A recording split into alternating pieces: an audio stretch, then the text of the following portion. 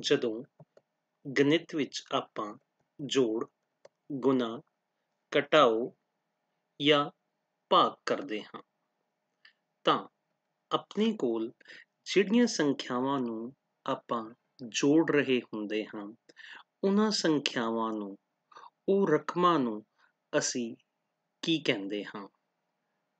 ਆਓ ਅੱਜ ਆਪਾਂ ਇਸ ਚੀਜ਼ ਨੂੰ ਸਿੱਖਦੇ ਹਾਂ ਕਿ ਵਰਤੀਆਂ ਸੰਖਿਆਵਾਂ ਨੂੰ ਕੀ ਕਹਿੰਦੇ ਹਨ? ਜੋੜ ਐਡੀਸ਼ਨ ਦੋ ਜਾਂ ਦੋ ਤੋਂ ਵੱਧ ਜੁੜਨ ਵਾਲੀਆਂ ਸੰਖਿਆਵਾਂ ਨੂੰ ਅਸੀਂ ਯੋਜਕ ਐਡੈਂਡਸ ਕਹਿੰਦੇ ਹਾਂ। ਜੋੜ ਕਰਨ ਤੋਂ ਬਾਅਦ ਆਏ ਉੱਤਰ ਨੂੰ ਅਸੀਂ ਜੋੜਫਲ ਸਮ ਕਹਿੰਦੇ ਹਾਂ। ਯੋਜਕ, ਜਮਾ ਯੋਜਕ ਬਰਾਬਰ ਜੋੜਫਲ addend plus addend equals to sum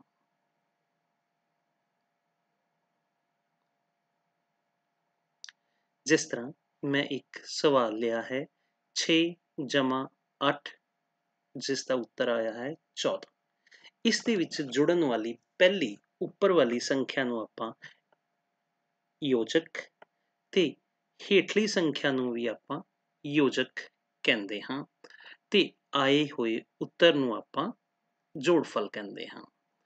ਅੰਗਰੇਜ਼ੀ ਭਾਸ਼ਾ ਦੇ ਵਿੱਚ ਉੱਪਰ ਵਾਲੀ ਰਕਮ ਨੂੰ ਆਪਾਂ ਐਡੈਂਟ ਅਤੇ ਹੇਠਲੀ ਰਕਮ ਨੂੰ ਵੀ ਆਪਾਂ ਐਡੈਂਟ ਕਹਿੰਦੇ ਹਾਂ ਅਤੇ ਆਏ ਉੱਤਰ ਨੂੰ ਆਪਾਂ ਸਮ ਕਹਿੰਦੇ ਹਾਂ। ਘਟਾਓ, ਸਬਟ੍ਰੈਕਸ਼ਨ ਘਟਾਉਣ ਵੇਲੇ ਦੋ ਸੰਖਿਆਵਾਂ ਵਿੱਚੋਂ ਵੱਡੀ ਸੰਖਿਆ ਨੂੰ ਮਫਰੂਕ ਇਮਿਨੂਐਂਟ ਕਹਿੰਦੇ ਹਾਂ। ਘਟਾਉਣ ਵੇਲੇ ਦੋ ਸੰਖਿਆਵਾਂ ਵਿੱਚੋਂ ਛੋਟੀ ਸੰਖਿਆ ਨੂੰ ਘਟਾਵੀਂ ਸੰਖਿਆ ਸਬਟ੍ਰੈਂਡ ਕਹਿੰਦੇ ਹਾਂ। ਘਟਾਉਣ ਤੋਂ ਬਾਅਦ ਆਏ ਉੱਤਰ ਨੂੰ ਅਸੀਂ ਅੰਤਰ ਡਿਫਰੈਂਸ ਕਹਿੰਦੇ ਹਾਂ। ਮਫਰੂਕ ਘਟਾਓ, ਘਟਾਵੀਂ ਸੰਖਿਆ, ਬਰਾਬਰ ਅੰਤਰ। minuend minus subtrahend equals to difference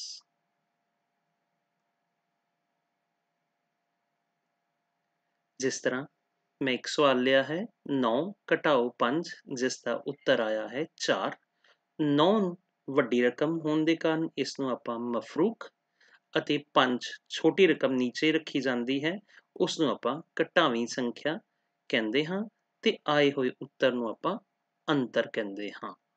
ਅੰਗਰੇਜ਼ੀ ਭਾਸ਼ਾ ਦੇ ਵਿੱਚ ਉੱਪਰ ਵਾਲੀ ਯਾਨੀ ਵੱਡੀ ਸੰਖਿਆ ਨੂੰ ਆਪਾਂ ਮਿਨੂਅੰਡ ਅਤੇ ਛੋਟੀ ਰਕਮ ਜਿਹੜੀ ਆਪਾਂ ਘਟਾ ਰਹੇ ਹਾਂ ਉਸ ਨੂੰ ਸਬਟ੍ਰਾਹੈਂਟ ਬੋਲਦੇ ਹਾਂ ਅਤੇ ਆਏ ਗਏ ਉੱਤਰ ਨੂੰ ਆਪਾਂ ਡਿਫਰੈਂਸ ਕਹਿੰਦੇ ਹਾਂ।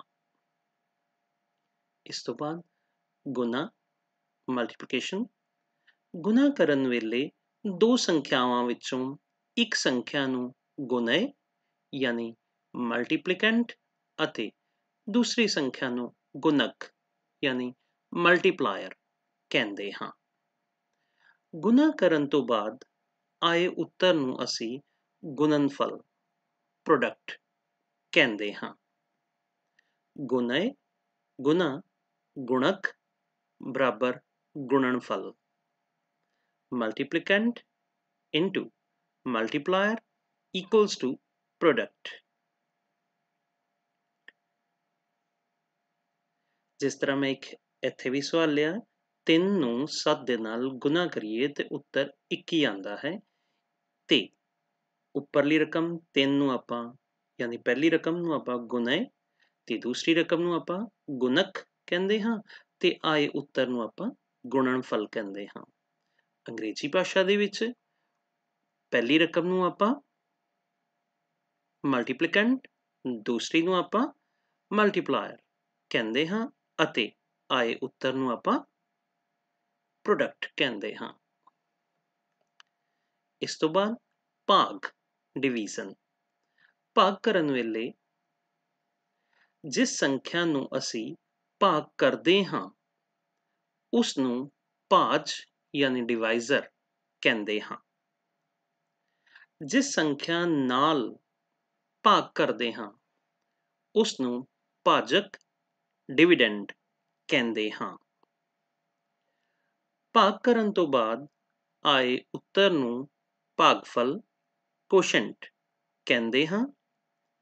ਭਾਗ ਕਰਨ ਤੋਂ ਬਾਅਦ ਬਚ ਗਈ ਸੰਖਿਆ ਜੇਕਰ ਹੋਵੇ ਤਾਂ ਉਸ ਨੂੰ ਆਪਾਂ ਬਾਕੀ ਕਹਿੰਦੇ ਹਾਂ reminder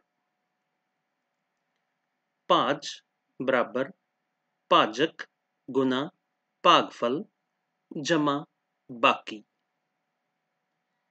divisor equals to dividend into quotient plus reminder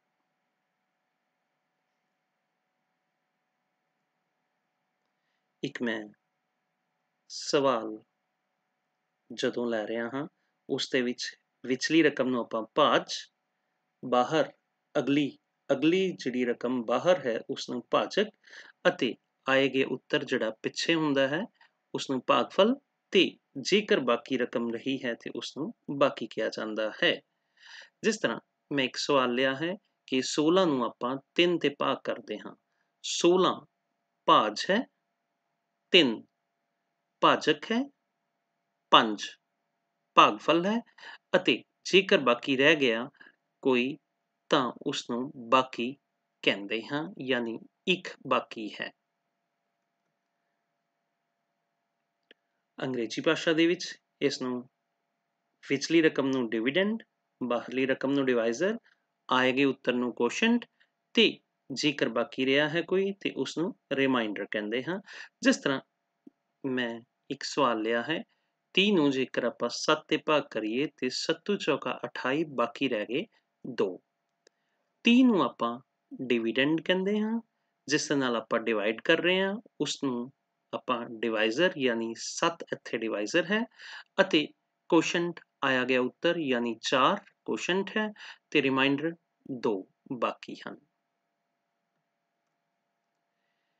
ਜੇਕਰ ਮੇਰੀ ਇਹ ਕੋਸ਼ਿਸ਼ ਤੁਹਾਨੂੰ ਚੰਗੀ ਲੱਗੀ ਹੋਵੇ ਤੇ ਕਿਰਪਾ ਕਰਕੇ ਮੇਰੇ ਚੈਨਲ ਨੂੰ ਸਬਸਕ੍ਰਾਈਬ ਜ਼ਰੂਰ ਕਰੋ ਅਤੇ ਵੀਡੀਓ ਨੂੰ ਵੱਧ ਤੋਂ ਵੱਧ ਸ਼ੇਅਰ ਕਰੋ ਤਾਂ ਕਿ ਮਿਹਨਤ, thank you.